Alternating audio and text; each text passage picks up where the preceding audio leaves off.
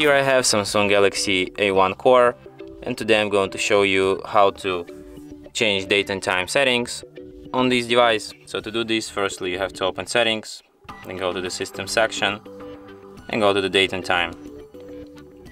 So if you want to change, set up your date and time manually, you firstly have to disable this feature automatic date and time.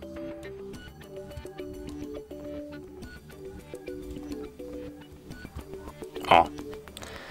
Here you can select your time zone, but firstly you have to select your region. Here you can set up your date, here you can set up your time, and you can also uh, use 24 hour time format or the 12 hour. And that's it. Thanks for watching.